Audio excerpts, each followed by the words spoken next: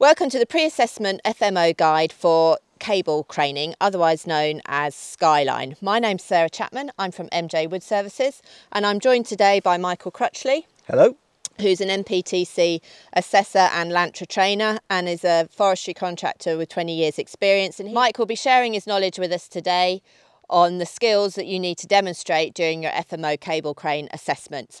This is one of seven videos on the cable crane assessment and you will need to watch these in conjunction with our base machine videos which also cover your health and safety, hazards and risks and PPE.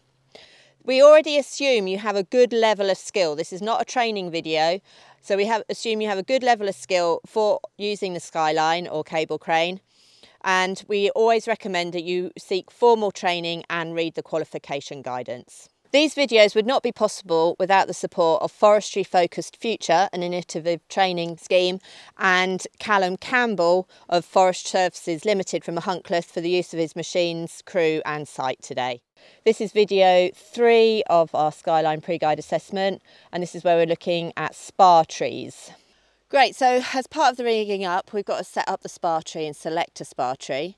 So what are we looking for when you're selecting the spar tree? Ideally, we're looking for a tree of the right size. So you know, it's got to be tall enough for our purposes. It's got to be, you know, the physical size of it. It's got to be, you know, the girth, diameter of it. It's got to be enough to be able to take the pressure we're going to put through it. Look again at the roots, make sure the roots, got, you know, good root system on it, you know, all the way around, not just on the front or just the back. And that's it, you know, the tree actually does look sort of healthy. You don't want to choose one of these dead larch trees we're surrounded by here today. So when we're talking about the girth and the size of the tree, is there uh, how are we deciding whether it is big enough? Um, roughly looking at 30 centimetres per tonne of pull.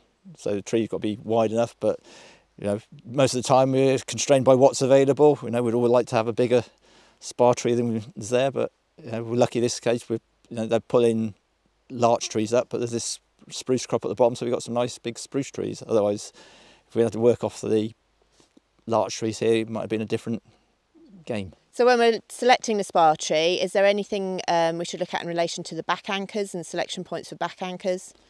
Again, the spar tree's got to be far enough forward that you know we're going to have to put the back anchors behind, so that's going to have to be another 20 meter, no, 10, 15 meters behind. So there's no point having a spar tree at the back with no anchors behind it, so it's got to be slightly forward to give us room for the anchors as well. So when we talk about rigging a uh, spar tree for skyline, rigging in front or behind, and then the high lead, you rig in front. So is there... Um, yeah, high lead, you know, traditionally you put the pulley in front of the tree, so um, the tree doesn't get in the way of the pull. Um, the skyline, you can either have it in front, as we have here, with anchors on the back, or you run it through a solid snatch over the spar tree down to an anchor at the back.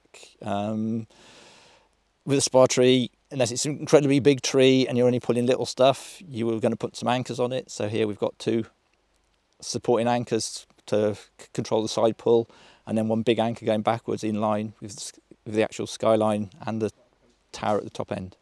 Here we're accessing the spar tree. You need to make sure you've got all the relevant climbing tickets and they're valid. The access equipment can include ladder, climbing spikes, obviously rope and harness. Pass up the strops, make sure they're the right weight for the strain they're going to take. They're normally colour coded or have a ticket on them.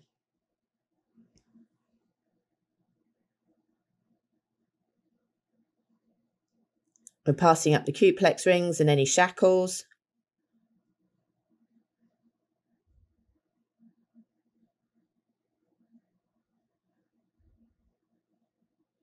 And securing the anchoring system at the back of the spar tree.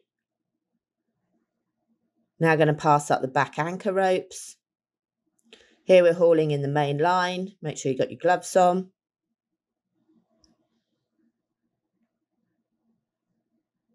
And pass up the main line.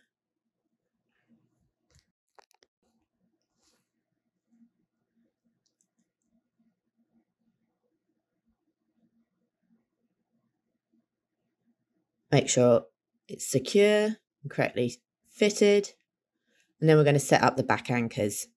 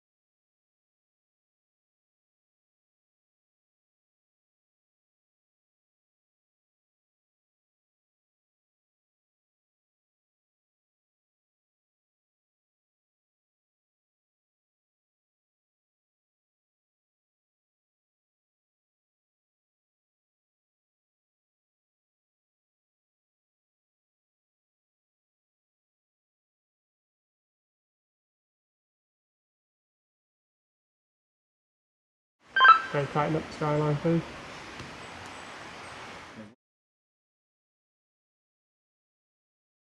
Okay, so when setting up the skyline, you might need to consider intermediate supports. So even if you're not using intermediate supports on site that day, you you need to explain how you would set up an intermediate support. So what are we looking at when setting up an intermediate support? The guidance there is talking about the good old fashioned M support, um, where in the ideal world you'll have two trees of the right height, the right diameter, plenty strong enough, good roots, um, nice and equal distance across the um, either side of the running line, um, level with each other, and plenty of good anchors you can use to hold them back with.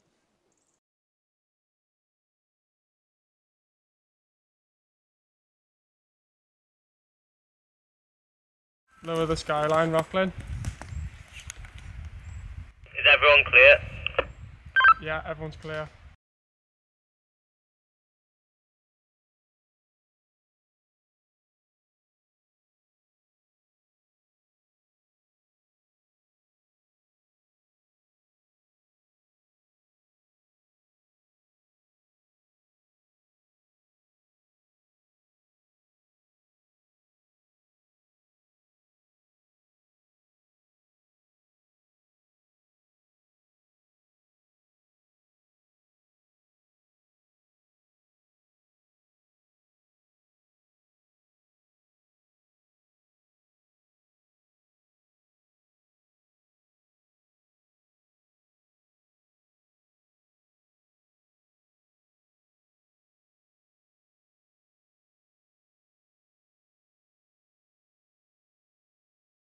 So as part of um, uh, your assessment, we need to discuss artificial spar systems. So could you explain to me how we would rig an artificial spar system? The, the modern way of doing it would be get another excavator, put a tower on it, and then use that as like a mobile, easy one. There, you just make sure it's tall enough. You put your anchors on it. Um, if that wasn't available, you get a piece of steel or a piece of a, a tree, set that up in a suitable place. Again, put lots of anchors on it. Um, make sure it's all nice and secure. Um, work out how you're going to you know, anchor it all back and obviously getting up's the hardest part. Probably need to use a Tirfor. Um, the same with if you had to put an artificial mid support in, you'd make an A-frame, um, bind that all together, drag it upwards with a, a Tirfor, probably using a prop, a piece of wood just to prop, just to get a bit of lift to begin with. Again, anchor it all back um, and put a pulley in the middle, and there you've got an intermediate support. But it's a lot of trouble. Best to avoid it.